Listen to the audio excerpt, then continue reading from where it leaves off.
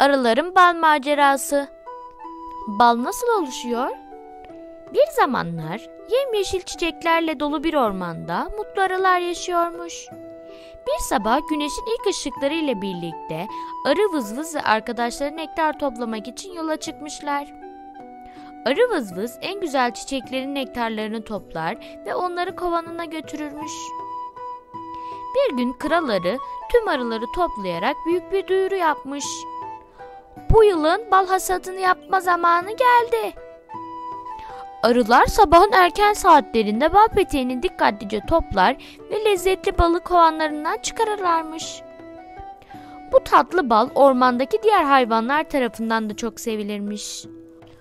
Ormanın minik dostları olan tavşan pufuduk, ayı bal seven ve sincap fındık da balın tadını çıkarmış.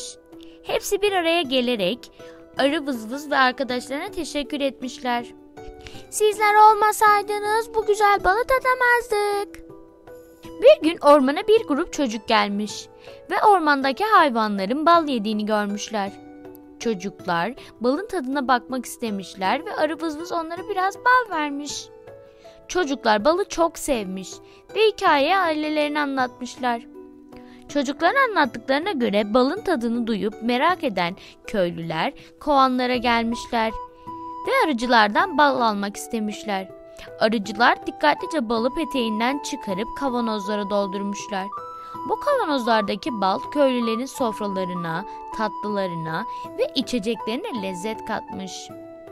Arıcılar balı sadece köylülere değil, komşu köylere ve hatta şehirlere taşımışlar. Kamyona yüklenen bal marketlere ve evlere ulaştırılmış. Herkes arı vızvız